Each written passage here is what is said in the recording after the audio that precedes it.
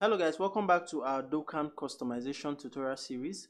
So um in this particular tutorial i'm going to show you how to hide the edit button.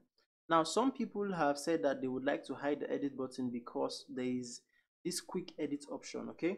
Um so if i click on the quick edit option you see that there is this you know short you know edit um options that a vendor can use to edit their product. And essentially it contains um, most of the you know options that are important for you know the editing of a product except for maybe um, long description essentially.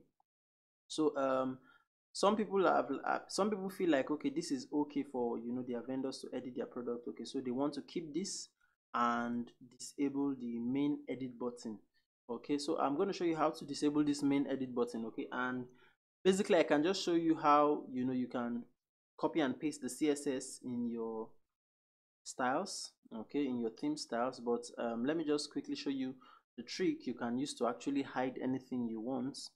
Um, so basically if i right click and i click on view page source so this time i'm not inspecting the page i'm going to click on view page source. And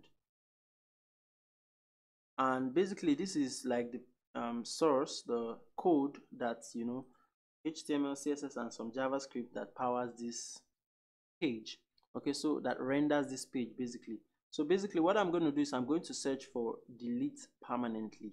Okay so i'll come to the page source and i'll click on control f. So control l stands for control find or search. So i'm going to say delete and I'll say permanently. So there are just six um, occurrences of this word delete permanently. So basically, um, this is not what I'm looking for. So I'm going to go down to, all right, so this is what I am looking for. Now, basically what I'm interested in is the edit section, this edit section here, okay? Um, so um, the way I'm going to write the CSS for this is I'm first going to pick out this class. So there is a div with a class of row action and then within that div there is a span with a class of edits. So this is essentially how i am going to um you know hide this particular edit feature here. Okay so what i'm going to do is i'm going to say i'm going to go to the back end of my website. So um essentially go to the back end of your website come to appearance and click on customize.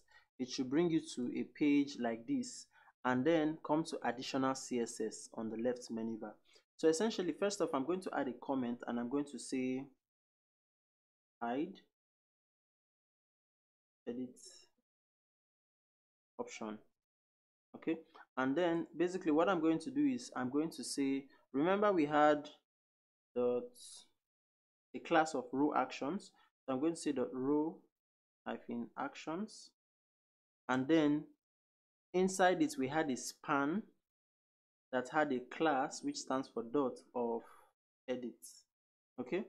And then basically i'm just going to tell my css that i don't want this to be displayed. So i'm going to say display none and then i'm going to close.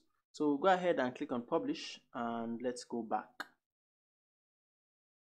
So um so let's just make sure our css was right row actions span edit yeah.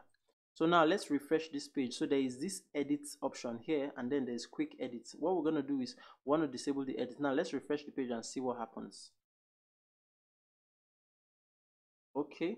So essentially we've been able to remove the edit button. So all we have here is delete permanently the quick edit and duplicate. So if i click on quick edit i get the options to add maybe change things like the price and other stuff about my product okay so basically that's how you um, remove the edit button.